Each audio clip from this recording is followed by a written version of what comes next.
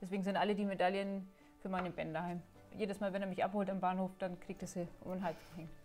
Ist es mir wichtig, meinem Sohn zu zeigen, dass man trotz einer Erkrankung oder einem Schicksalsschlag, wenn man es überhaupt so bezeichnen kann, einfach noch viel erreichen kann und dass man sich nicht ermutigen lässt und dass man noch viel schaffen kann. Mein Name ist Anke, ich bin 40 Jahre alt und habe seit knapp drei Jahren Parkinson und spiele seit Oktober 22 hier in Diedersheim bei Ping Pong Parkinson Tischtennis und liebe es. Die Claudi hat das Ganze gegründet hier. Die Diagnose habe ich seit fünf Jahren knapp und DPP macht einfach wahnsinnig viel Spaß, gerade mit den Leuten hier. Es ist einfach eine tolle Sache, es bringt die Leute runter vom Sofa. Oftmals ist es ja so, dass sich bei Parkinson die Leute eher zurückziehen und wir haben jetzt inzwischen ähm, eine richtig gute Gemeinschaft von 15 ähm, Spielern jetzt schon, ja. Es macht einfach wahnsinnig Spaß. Wir treffen uns jeden Dienstag ab 15 Uhr in Dietersheim in der Mehrzweckhalle, oben beim Schützenhaus und Donnerstag dann auch um 19 Uhr. Mittlerweile haben wir auch einmal im Monat dienstags nach dem Training einen Stammtisch. Ping Pong Parkinson wurde erfunden von einem amerikanisch-kroatischen Musiker der festgestellt hat, dass sich seine Symptome verbessern und er besser wieder Gitarre spielen kann, wenn er regelmäßig Tischtennis spielt.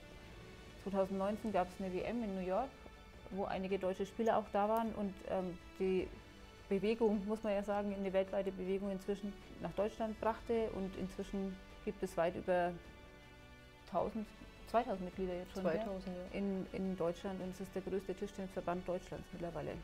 Ping-Pong Parkinson. Es ist viel mehr als Tischtennis. Es entstehen Freundschaften. Ähm, man geht auf Turniere national und international und hat da Bekanntschaften und Freundschaften über ganz Deutschland, aber auch weltweit. Also Kontakte nach Dänemark, in die Schweiz, nach England. Und wenn man Tischtennis spielt, spielt trotzdem die Krankheit eigentlich keine Rolle. Wenn wir an der Platte sind, sind wir, sind wir wir. Ja. Und keine Kranken. Unsere Mitglieder kommen überwiegend aus dem Landkreis. Die weiteste Anreise habe tatsächlich ich. Ich komme aus dem Nachbarlandkreis. Also wie man hier vielleicht schön sehen kann, haben wir schon einiges an Medaillen abgeräumt und mein persönliches Highlight war die German Open letztes Jahr in Düsseldorf ähm, mit der Anke. Wir haben im Doppel Gold geholt. Wir waren auch zusammen auf Weltmeisterschaft schon in Österreich, in Wels und haben uns da die Bronzemedaille in Klasse 2 im Doppel ergattert. genau, und es ist jedes Mal ein Erlebnis, weil dann so viele Leute kennen. Eine tolle Sache. Ja. Wir würden gerne alle bitten, die an Parkinson erkrankt sind, probiert einfach mal Ping-Pong Parkinson aus. Auch ähm, andere neurologische Erkrankungen. Wir haben durchaus auch Leute da, die das auch vorher dachten, dass sie das nicht können. Aber es ist tatsächlich und, möglich. Ja. Und uns jetzt die Bälle um die Ohren hauen. Genau. Ja. Wir trafen uns vor einem Jahr ist mir schon klar,